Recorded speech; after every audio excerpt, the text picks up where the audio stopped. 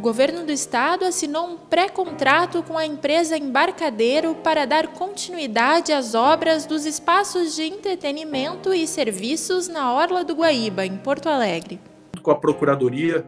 se fez um esforço para entregar um documento firme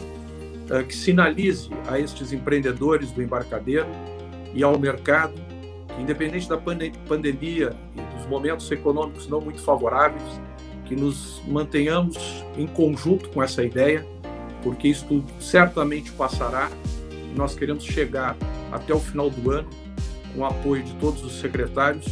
com esse projeto embarcadeiro uh, concretizado. O pré-contrato prevê que o embarcadeiro possa explorar o trecho ao lado do gasômetro por pelo menos quatro anos. O período pode ainda ser ampliado dependendo do prazo de retorno financeiro dos investimentos que a empresa fizer no local. Ao todo, serão investidos 6 milhões e meio de reais neste projeto inicial, sendo que uma parte significativa ficará com benfeitoria ao Estado. Nossa crença no projeto e no Rio Grande do Sul, enquanto empresas empreendedoras gaúchas, é muito grande e o investimento realizado demonstra justamente a vontade de apostar no nosso Estado. Projeto que contou com o parecer jurídico da Procuradoria e hoje, então, com esta, com esta proposição, com esse termo de ajustamento que é firmado hoje, há um reconhecimento formal desta relação e, sem dúvida nenhuma, haverá daqui para frente ganhos uh, imensuráveis para a nossa comunidade. A previsão é de que o cais embarcadeiro, como foi chamado o local, esteja concluído entre os meses de outubro e novembro, mas a abertura ao público vai depender da pandemia do novo coronavírus. No momento que o Rio Grande e o Brasil né, estão enfrentando aí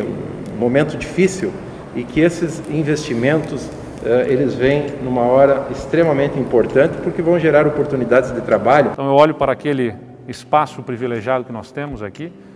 lá está a nossa história, lá está a nossa cultura, lá está a riqueza natural do nosso estado, né, através do estuário do Guaíba, que ali se contempla. E lá será um ponto de encontro do que nós temos de melhor, que é a nossa gente, que é a, a